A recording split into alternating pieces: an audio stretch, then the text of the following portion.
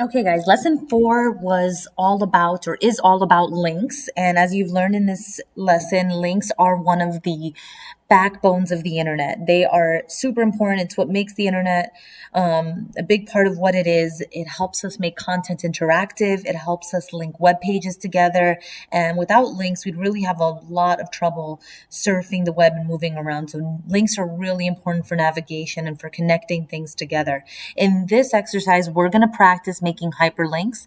And what we're doing is we are turning a set of text or lines of text into links that go to specific web pages. So we want to use these URLs and we're going to turn this text here into links to these URLs. Okay, we're going to use the A tag that we just learned about as well as the href attribute.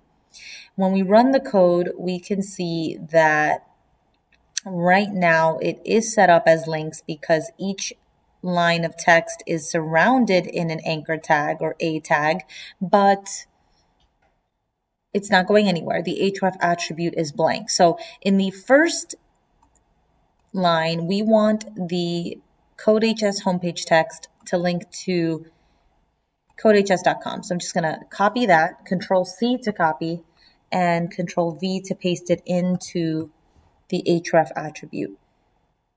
Okay, you can think of attributes as additional information that you can give a tag. I believe this is the first attribute that we're covering. And in this case, this attribute tells the anchor tag which website we're trying to get to or which URL we're trying to target.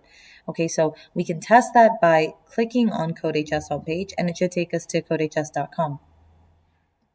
All right, so looks like this link is working. Very good if you got this.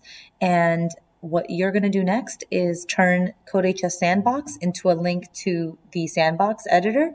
And then finally, the courses, my courses on CodeHS to codehs.com slash my courses.